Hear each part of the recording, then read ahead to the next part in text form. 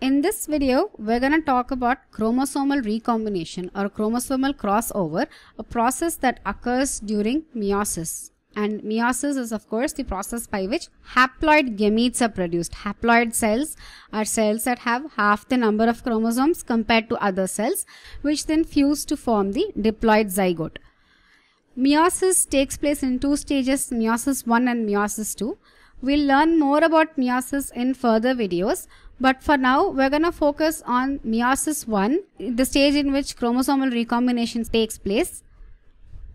Specifically in meiosis 1, in prophase 1, and in prophase 1, there is a stage called Pachytene in which this recombination or crossover takes place.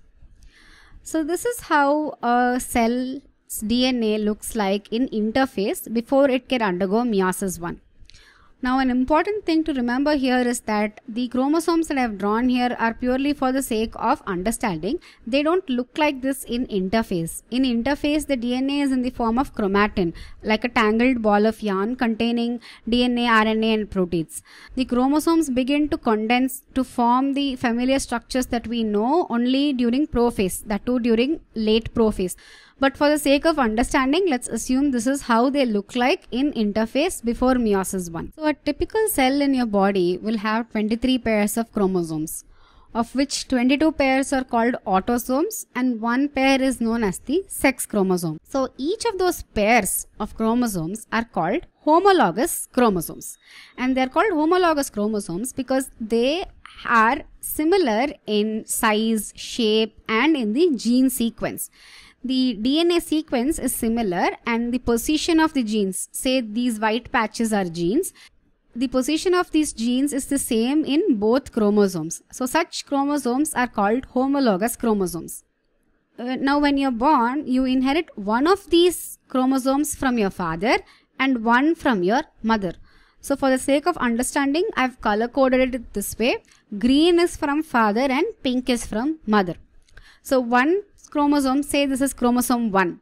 Out of 23 pairs, you have 1. So this is the first pair. So one in that pair is from your father and the other is from your mother. But there is a slight difference in terms of how these genes are expressed. Say this white patch of gene codes for black hair. This could be a gene that codes for hair color but brown hair color. So the trait is still the same, hair color, hair color both places, but the trait being expressed is slightly different. This is black hair color and this is brown hair color. Such variations of the same genes are called alleles. So these two are alleles but for the same gene, say hair color. Now what happens is these chromosomes undergo DNA replication in the S phase. Again, this is not how they look like in S phase. This is definitely not how they look like at the end of S phase. This is how they look like in prophase. So what has happened here is that each of this chromosome that makes up this homologous pair has replicated. This is still one chromosome only, one and one forming one pair of homologous chromosomes.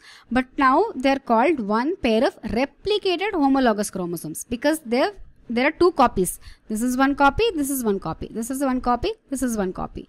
For the longest time when I was studying biology, I could never understand what this homologous pair means. It's still one chromosome, one, one. But now these replicated homologous chromosomes are made up of sister chromatids.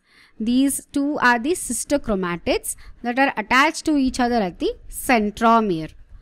Meiosis 1 results in the separation of these two homologous pairs. This goes to one cell and this goes to one cell. Meiosis 2 results in the separation of these sister chromatids. This splits and this splits. So that's how haploid cells are formed. So let's focus on this sister chromatids that have formed after DNA replication.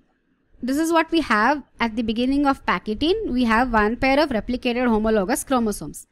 So while we have sister chromatids, we also have something called non-sister chromatids. This is very confusing, sister, non-sister. Just remember it this way.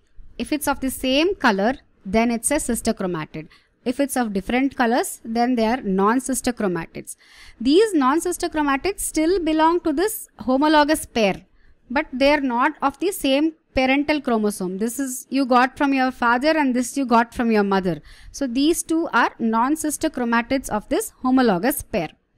Now what happens is these two chromosomes come together and form a structure called the tetrad.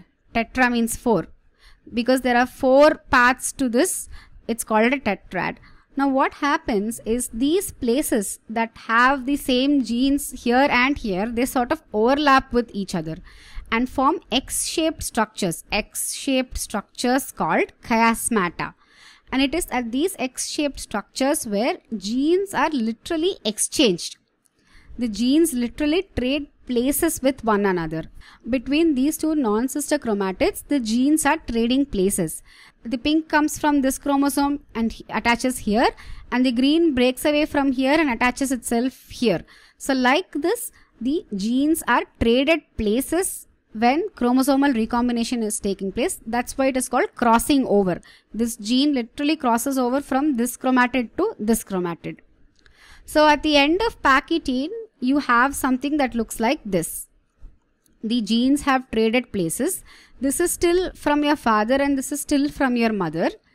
It was originally both green and both pink. But now this green has parts of pink and the pink has parts of green which means that the alleles have traded places. And these alleles that have traded places are found in recombinant chromosomes.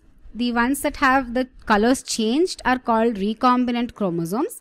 And the ones that are still similar to the parental chromosomes, they are called non-recombinant chromosomes. At the end of meiosis 1, the homologous chromosomes would be separated to two cells and this is how the cells would look like.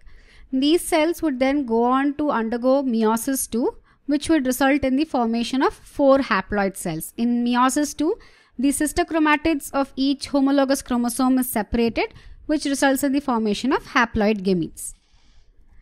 Now that we've learnt about chromosomal recombination, let's try to answer the question why is it important and why does it happen in the process of sexual reproduction? Say there is an organism Mm, that has something that makes it difficult to survive under certain extreme weather conditions. If the genetic information from the parent is just like that copied and given to the offspring, then the offspring could also find it difficult to survive under those weather conditions.